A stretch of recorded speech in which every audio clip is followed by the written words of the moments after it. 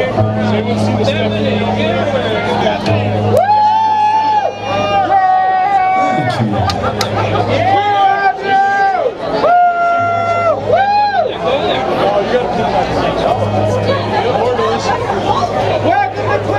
a love song uh, that uh, involves basically two ghosts.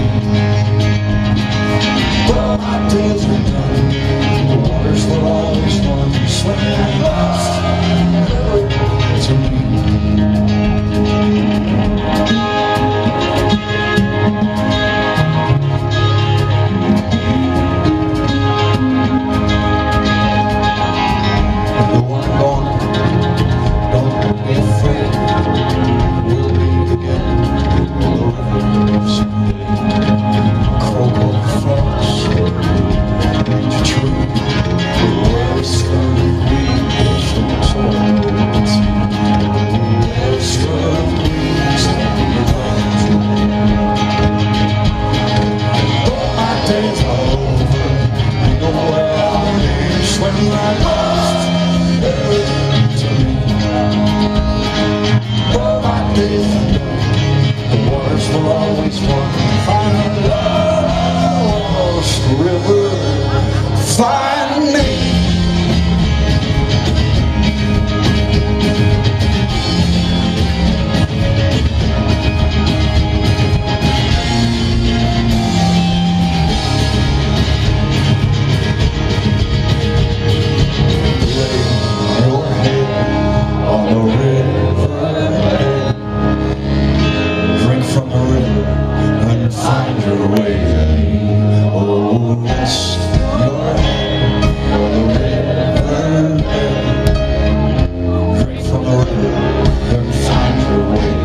Oh.